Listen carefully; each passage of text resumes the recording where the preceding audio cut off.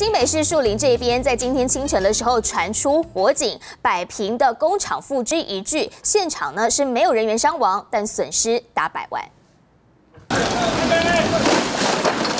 熊熊烈焰吞噬整座厂房，现场堆放大量木造物品，更助长火势。快点停车，赶快送水，赶快送水。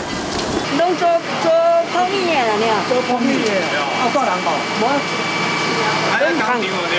可以这。间木椅工厂和相连的停车棚加起来将近百平，全部陷入火海。除了铁皮厂房内易燃设备、原料全烧毁，车棚里的七台汽机车也全被波及。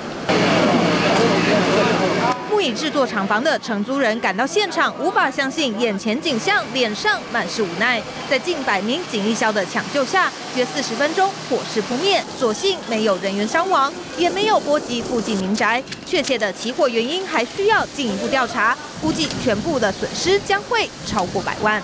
记者许志明、罗丽云新北市采访到。